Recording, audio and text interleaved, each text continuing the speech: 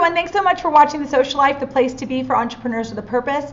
Today, I want to talk to you about how to look at your social media when you're starting it up for your business. I've had a lot of you talk to me about how should I start on social media? Where should I start? Um, where should I find my customers? Things like that. So today, I just want to put all that to rest with a few little tips to get you started.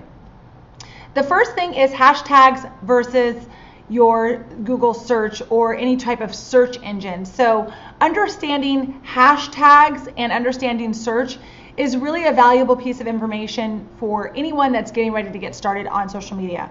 So, the first thing you need to know is hashtags are for grouping conversations. So, if there's a conversation about nonprofits, great. If there's a hashtag about smiling, you're going to look up those types of hashtags. So this is a great place for research if you want to start doing research for people in your niche or people that um, you're trying to attract. This is a great place to start looking for them so you can see all the conversations that have gone around or posts that have gone around or created around that hashtag.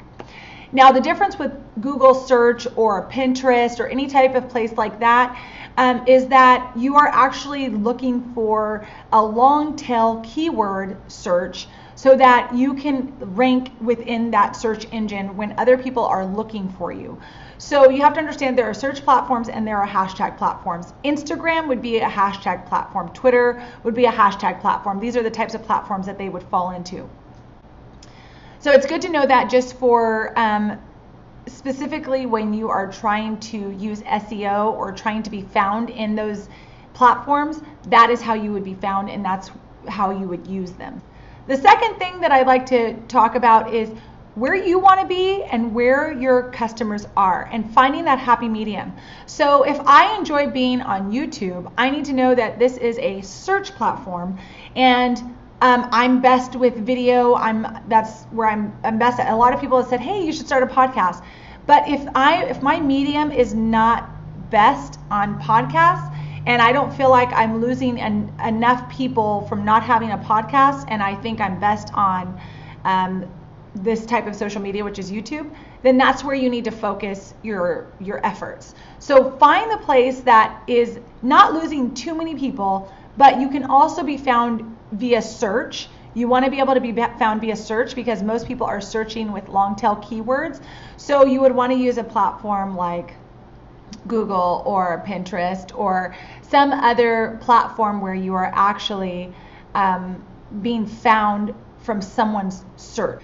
The next aspect of your social media is you have two different types of ways that you can be found on the internet, and that is images and that's words. So, whatever you're best at, like if you're a photographer, I would say obviously images are going to be great for you. So, maybe a better platform for you might be Pinterest instead of Google.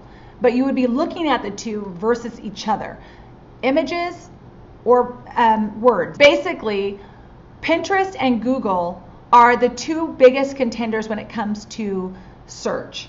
So if you are using Google, you're going to be more focused on words and adding words to your um, images and things like that so that people can find you on Google. Now, Pinterest is Google's biggest contender when it comes to images because Pinterest is based on images with text so that people can find you. But they're going to see your image most likely first and be attracted to that and then click your image.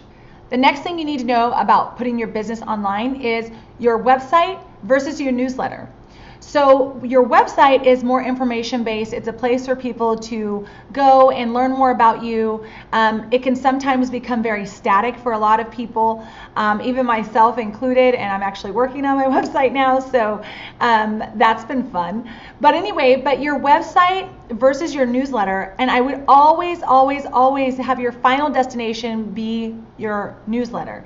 The reason I say that is because you own these two pieces of content. So your website you own, it's never going to go away. So even though I make YouTube videos and I post them on YouTube, the best place for me to actually post them and have them is on my website because that's my own content.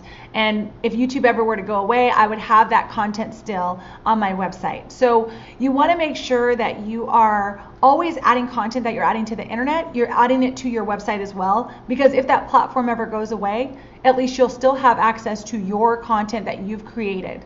The reason I say to use your newsletter as your final destination is because your newsletter is something that always allows you to get back to your customer no matter if they are no longer on social media. Maybe they decide to take a break from social media and but they always have an email.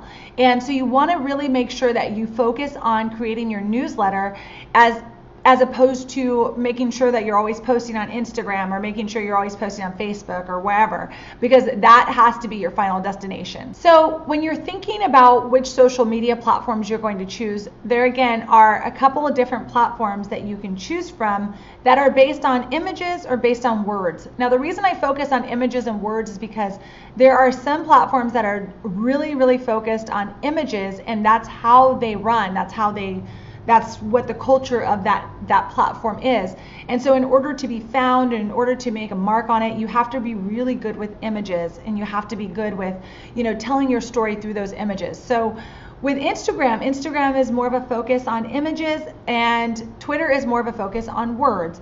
Facebook has a little bit of both, but it doesn't have the open source platform that um, you would find on Instagram or Twitter, where people randomly can just find you.